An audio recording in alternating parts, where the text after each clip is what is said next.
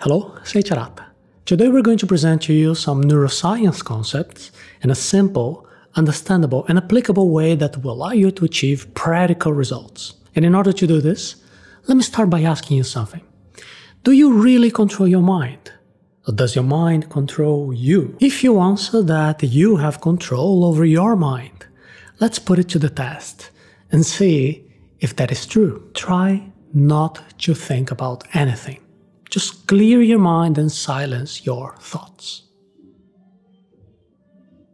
So, did you manage to do it? Probably not, right? You probably ended up thinking about something.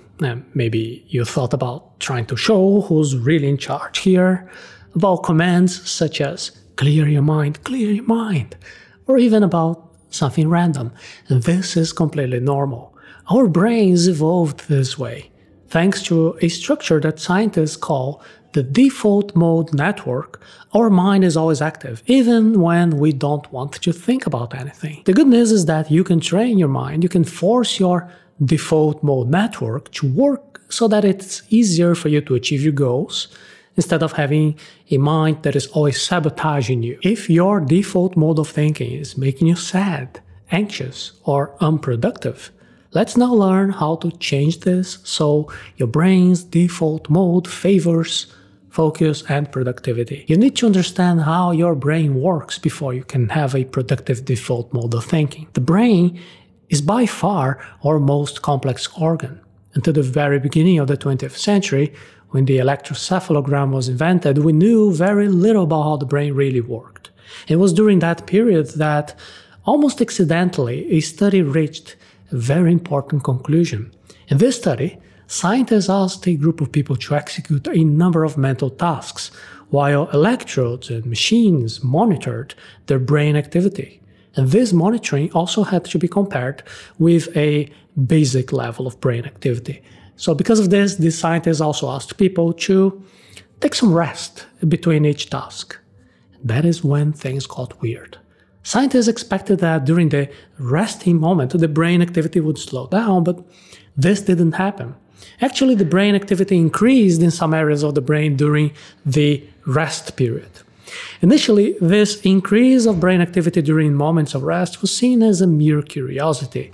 But many years later, the neuroscientist David Ingvar started to compare test results that measured the blood flow when people were resting. This is how we accidentally discovered that specific areas of the brain go through a network activation when we are supposedly resting. In other words, when we are actively using our brain to do a mental activity, some areas are activated.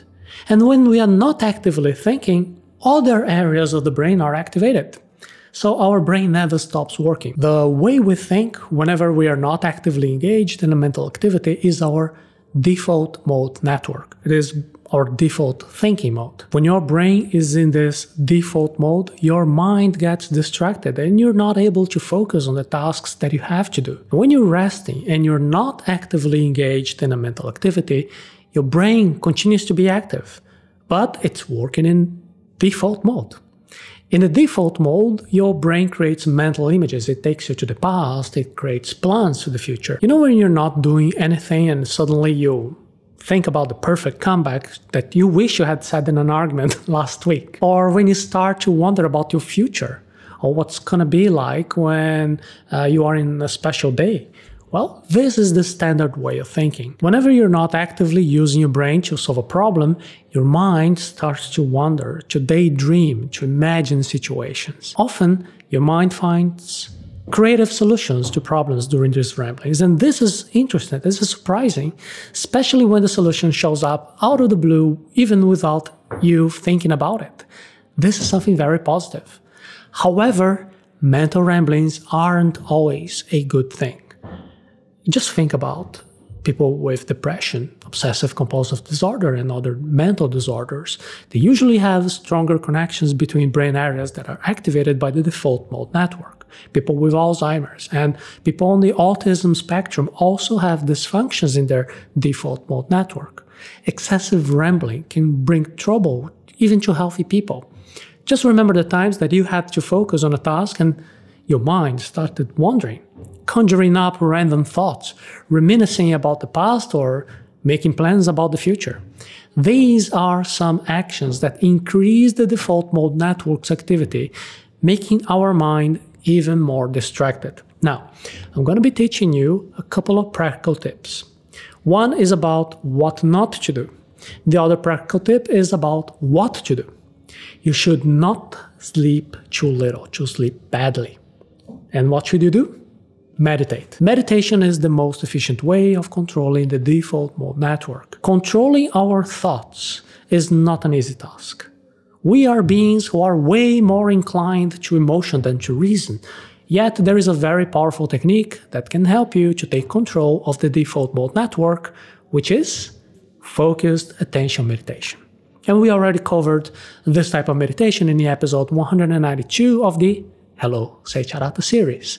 In a focused attention meditation, you have to choose something to focus on. And it can be anything. It can be your breathing, it can be an object in your room, it can be even a random image.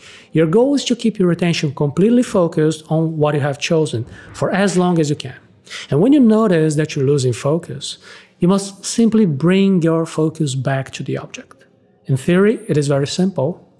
In practice, it is very hard. Usually the thoughts responsible for making you lose focus involve the past or the future, almost never the present moment. The correlation between lack of focus and the default mode network was scientifically proven in a 2012 study, in which scientists asked people very experienced in meditation to practice focused attention meditation. Everything was very thoroughly monitored with mental activity scans, and whenever the participants, the volunteers, got distracted, the only thing they had to do was to press a red button. That's how the scientists were able to compare the moments of distraction with the images showing which brain area was active at that time. And they were always the default mode network areas. So the more you practice focused attention, the less dominant your default mode network will be. And even through constant practice of this type of meditation, some random thoughts will keep popping up in your mind. However, these thoughts will not be able to hold your attention for long before you manage to regain your focus. And this shows that you are training, that you're strengthening the brain areas responsible for keeping you focused.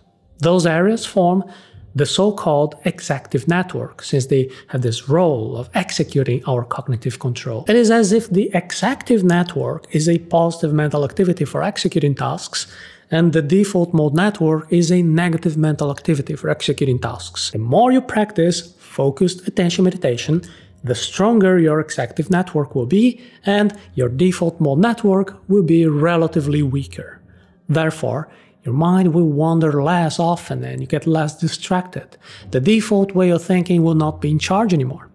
Instead, your brain will be strong enough to focus whenever needed, and therefore increasing your productivity and improving your ability to make decisions. The brain is our most complex organ. However, scientific studies reveal more and more about how our mind works every day.